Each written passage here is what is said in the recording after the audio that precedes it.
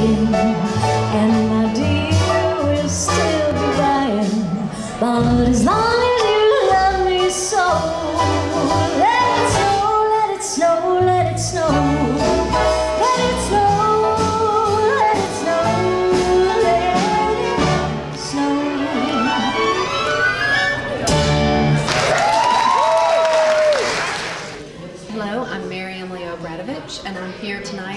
Fine Arts Center at Callanwolde with my sister, Katie Deal.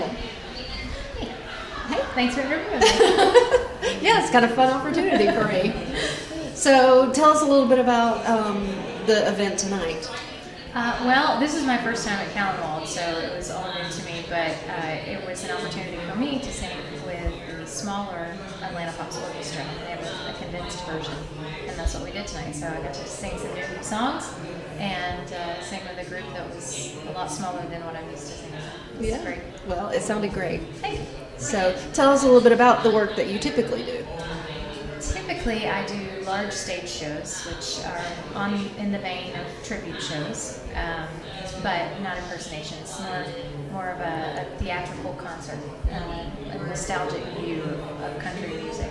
So I typically sing classic country music and uh, in performing arts centers. So this was a totally different, more more chill vibe than I'm used to.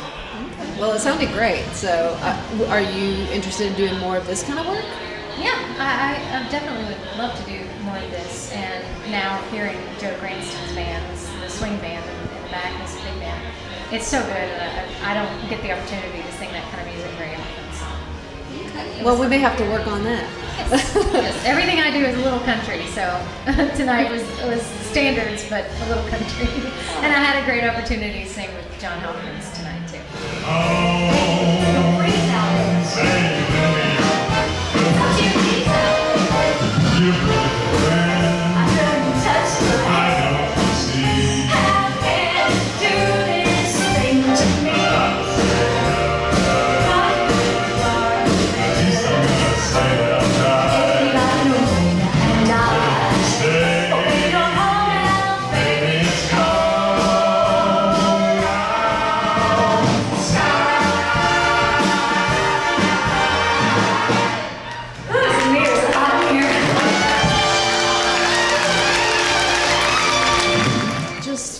to tell everyone about um, we're sisters obviously i just said that um, but i get to take credit for discovering this artist so you're my first artist that i ever discovered Uh-huh.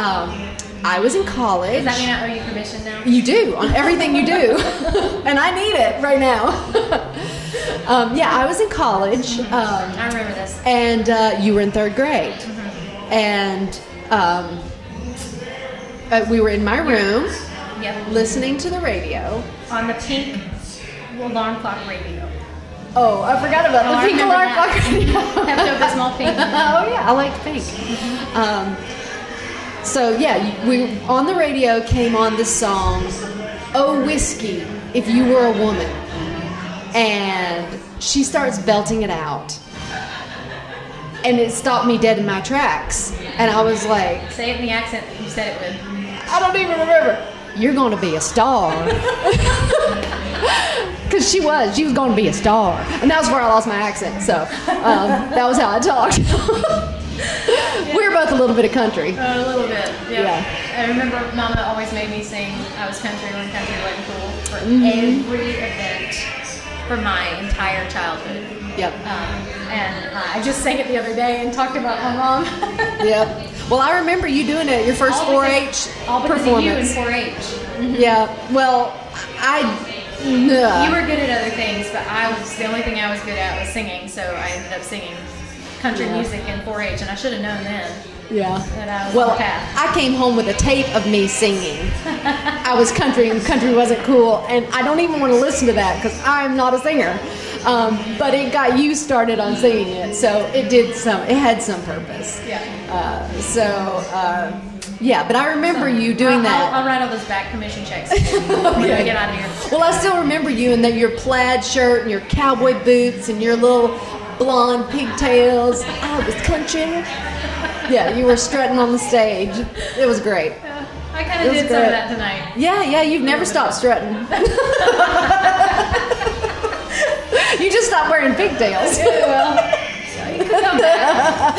Good. Maybe shouldn't. So, yeah.